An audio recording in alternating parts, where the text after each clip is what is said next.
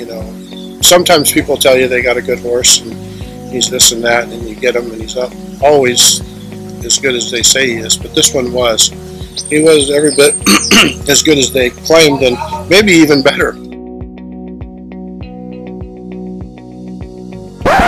Timeline flashback of episode 1 to bring you back to date on the story. Late April in Southern California rolls around and KVN Corona makes his career debut, a successful one. All the high hopes of this expensive yearling resting on the outcome of this premiere, and those were not in vain. Fast forward to June, his first real test, as KVN Corona is measured up against some of the finest two year olds on the West Coast for the Grade 1 Ed Burke Million Futurity Trial. Again, the son of Corona Cartel doesn't disappoint. Fast forward again to June 18th, as the finals of the Ed Burke Million were on tap at Los Alamitos, as jockey Ramon Sanchez rallied the great colt in mid pack to rouse an effort to bolt to the lead in the closing moments of the race to capture the Grade 1 Ed Burke Million Futurity in a time of 17.757 seconds. It was the first million dollar futurity win for owner Keith Nellesen, and he would be quoted as describing the joy of doing it with a homebred that he purchased back from the Ruidoso sale as what an unbelievable feeling. In only the third start of his career, his earnings had eclipsed the $400,000 mark with nearly $2.5 million left in the year that the connections were steering towards.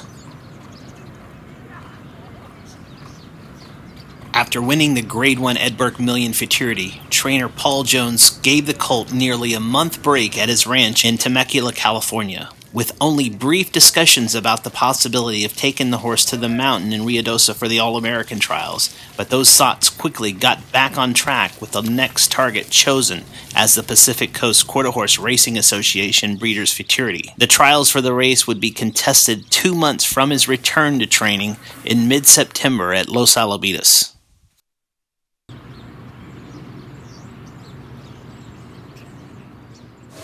and away they go. KVN Corona started off beautifully to the extreme outside. Magnificent 7, extremely racy, is now trying to rally on as well. As KVN Corona is powerful out here in the lead. Down along the inside, Magnificent 7, but KVN Corona, the only thing that matters now is the clock as he crushes the field. But KVN Corona, very, very impressive improving his already unbeaten record to four career wins and four career starts. The Grade 1 winner qualified into a second graded futurity in one of the most visually impressive races thus far, finishing as the fastest qualifier in a time of 17.694 seconds for the 350 yard event. Three weeks later, on October the 7th, 2017, at Los Alamitos Racecourse, trainer Paul Jones sent the Corona Cartel colt postward in the $400,000 futurity. And away they go on the PCQHRA Breeders' Futurity. The one who came away the best was hard-headed chick down the center part of the track comes, just walked by to the extreme outside comes KVN Corona, has just walked by. KVN Corona is now rallying on strongly. Here comes the Revenant from down along the inside, and the Revenant is flying to be in a very tight photo. I think KVN Corona just walked by the Revenant, a three-way photo, probably going to KVN Corona. An exciting finish here at the PCQHRA Breeders' Futurity everybody can read the past performances on the horse. I mean, he ran the table out there as a two-year-old. Um, very, very impressive. He is a horse that wants to win.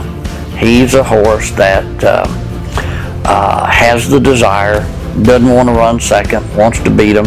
He never was a horse that wanted to, to uh, just run off from him. You know, he just uh, he just always was very professional. Did his job, went up there and got his picture taken. That was what he did.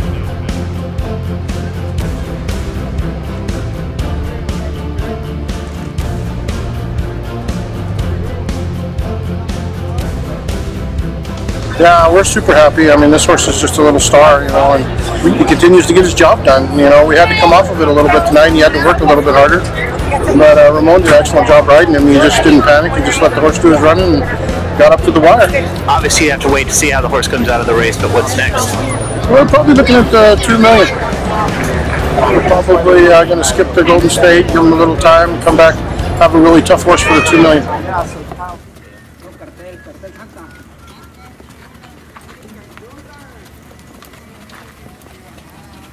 Anytime you can win a grade one here, or you can win the Ed Burke with a horse, you know, they stack up pretty high. It takes a takes a good horse. And uh, then when you come back and win the Breeders' Futurity, even though the Breeders' Futurity, the purse is not as big as the Ed Burke, but the, the competition is probably just as tough. and it's a little later in the year, and, and, and the horses have kind of weeded down, and you're running against some of the horses that, that are just selective to run in that race. Um, so the Breeders' Fraternity is a tough fraternity too. So to win two fraternities back to back and, and be undefeated at that point, you know, it takes a hell of a horse. And obviously, he, he is a hell of a horse. With over a half million dollars earned already in his two year old campaign, and always with a colt that has won multiple graded futurities, including a grade $1 million futurity, you have the outlook of his potential stud career looming. And as it pertained to year ending honors, KVN looked to be way ahead in the standings for colts in his division. Well, after we won the Pacific Coast, the, the trials to the Golden State were only two weeks away from the finals of the Pacific Coast. So we felt it'd be bringing him back awful quick. So we decided to skip the Golden State and then point to the two million. So we pointed to the two million, and the colt kind of colicked and had some trouble coming up uh, on the on the day of the trials of the two million, and things just weren't 100 percent. Anyhow, he did get better, and he was good enough to race. And away they go. And the one who came away the best was just walked by to the extreme outside. KVN Corona is now going to have to pick it up. He's trying to rally on as well. Seems even better. To the extreme outside comes King of Appeals, but the one they're going to have to beat is just walked by.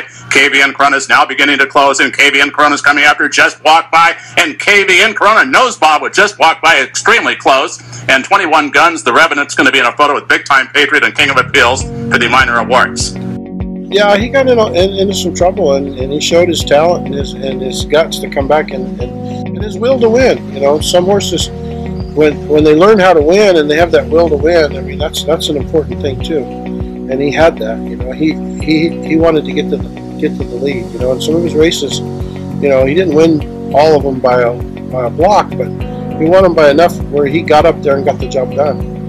And, and he had that will to win.